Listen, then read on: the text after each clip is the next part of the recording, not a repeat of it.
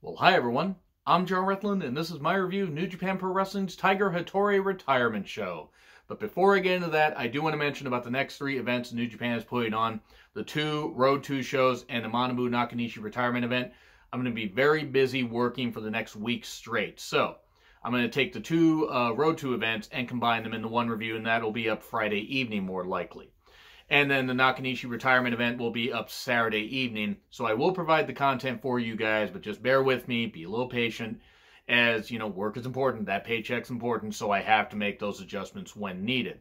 And uh, when the New Japan Cup field is announced, I will be doing a predictions video, bracketology, and all that. So look forward to that. But anyway, as for this show, obviously the sole focus was Tiger Hattori's retirement ceremony, but there was a card there, and it was a six-match card, and there were some nice little teasers for the Road 2 shows and maybe even some matches we can get in the New Japan Cup once the field is announced. There was some good stuff in this overall. Um, nice video package with clips of uh, some of Tiger Hattori's greatest moments. Nice interview piece uh, with him, interview pieces. Um, very moving. You could tell that uh, being you know involved in wrestling for so many goddamn years, over half of his life, has really meant a lot to him, and he has helped influence many um, many upon many, not just in Japan, but all over the world. Kevin Kelly, Chris Charlton on commentary. Kevin Kelly actually mentioned that if it wasn't for uh, Tiger, he would not be there in New Japan. When they needed an English commentator, Tiger, you know, knew that Kevin Kelly would be the guy. And bless Tiger Hattori for doing that. He did us all a favor. He did Kevin Kelly a favor. Kevin Kelly is a great commentator for New Japan. And it's it's just it's just great how many, you know, people he has touched the matches almost took a backdrop, though none of the matches were bad. Just a lot. It was like basically a house show with the retirement ceremony being the main event. Yeah, Gabriel Kidd, Yota Tsuji, and Yuya Uemura versus Toa Henare, Togi Makabe, and Honma. And I always screw up Honma's first name, so that's why I always say Honma. Um, some good strikes and chops. Uh, Yuya keeps changing his hair. I'm a little bit. I, I, I can't quite recognize him at first. I go, oh, that is Yuya because he keeps changing it. Um, good exchanges and everything, but in the end, Toa Bottom pins Kidd 1, 2, 3. And the brawl continues. All these guys are getting in on the action and everything. Put Henare in the New Japan Cup field, by the way, give him two wins. Seriously, I, give him a chance. I mean, I'm not saying push the guy of the goddamn moon right now, but he's put in the work for the last few years. I'm going to keep, uh, you know, saying that. Put him in the New Japan Cup tournament. Put him in the G1 tournament. Even if he only gets a couple victories in the G1 later this year at least you're putting some faith in him. Reward people for, you know, uh, their hard work. And he's a young enough guy, they can utilize him pretty well. so, we get Taguchi, Rocky Romero, and Tiger Mask versus Will Ospreay, Sho, and Yo. Um, and then Rocky and Taguchi doing the whole thing where, you know, they're trying to, you know, shoot the hoops. You know, the ball is good, and he accidentally hits Taguchi in the face. I mean, barely, and then Taguchi does takes a bump and does that. That was pretty funny before the match. Will Ospreay beat Zack Sabre Jr. for the Rev Pro British Heavyweight Championship on February 14th. That is why he was sporting that championship. Um, he's moved up to heavyweight, which um, shout out to Annette Reed uh, 24-7. That means Suzuki is going to beat him up in. I know you're going to like it, and I think we're all going to like it. Maybe Suzuki will knock some sense into Will Ospreay because great wrestler, Twitter game, and maybe some mindset. Maybe he needs to, you know, work on some of that. But anyway, that's for the future preview for the IWGP Junior Heavyweight Tag Team Championship match uh, with Taguchi and Rocky challenging Sho and Yo. And quick start, bunch of inside cradles, which I with I believe Yo and Taguchi. That was pretty cool. Some good comedy from Taguchi can do comedy pretty well without laying it bog everything down. Though I do think sometimes he relies a little too heavily on it, as good of a wrestler as he is. Um, and you know, after some good exchanges, Stormbreaker pins Tiger Mask one, two, three. And then we get Bushi, Hiromu, and Evil versus Juice, Finlay, and Yoshihashi. Lij attacking early. We get some heavy chops, you know, from ver- uh, from various people. Not like Hiromu and Dragon Lee. Some say they're still chopping each other to this day. Sweet Christ, that was ridiculous.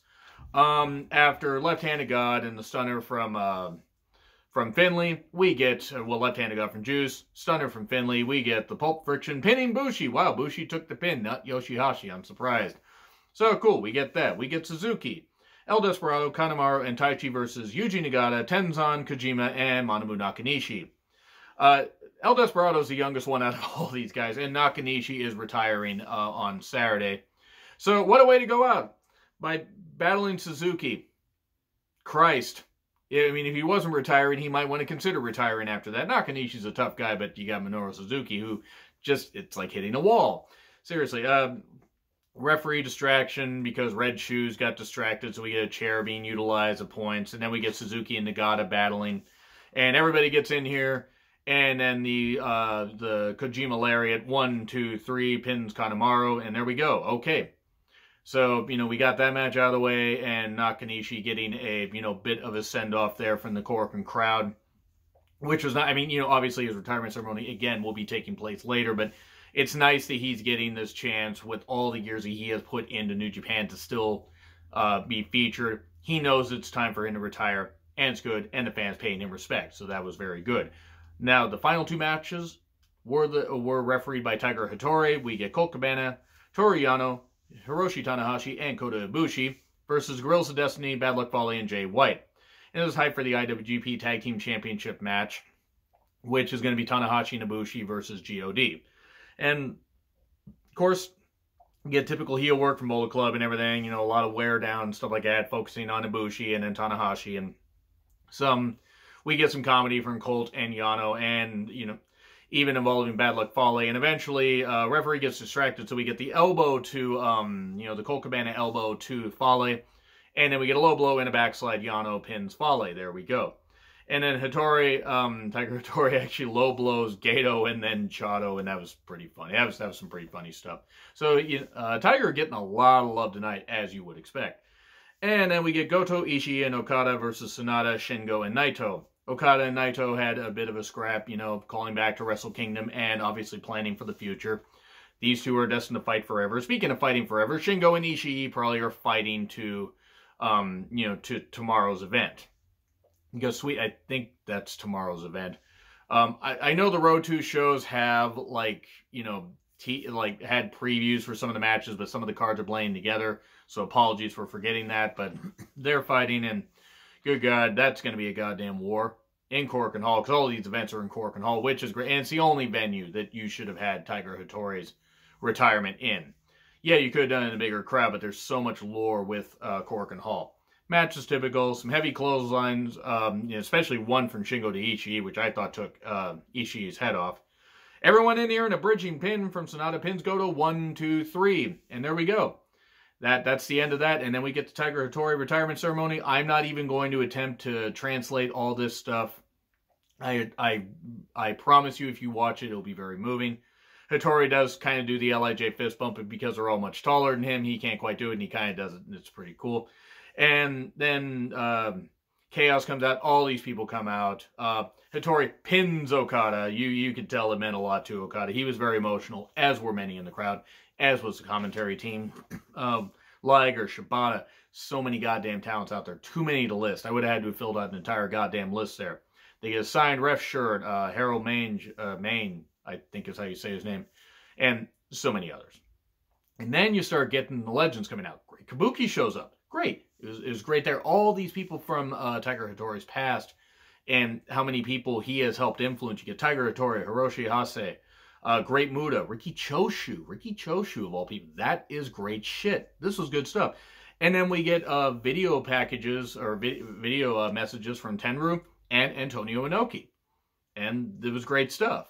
Tiger then thanks everybody, and you know they get they do the ten bell salute and then they toss him up in the air and everything safely because he is, you know, in his 70s and all this. And he just, he falls on Okada, gets another pin on him. And it's just, it's just a great retirement ceremony. It's really good stuff. This is an easily digestible card.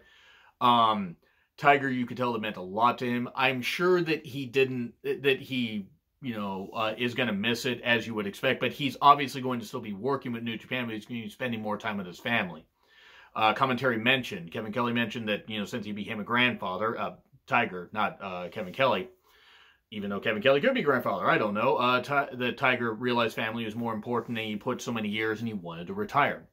So this is good stuff.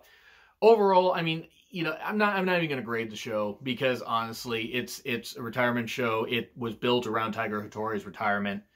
Um, it was a good show watch it, enjoy it. But anyway, let me know what you guys think in the comments. Like, share, subscribe, Twitter handle in the description. I'm Jonn Ritland. I'll see you soon.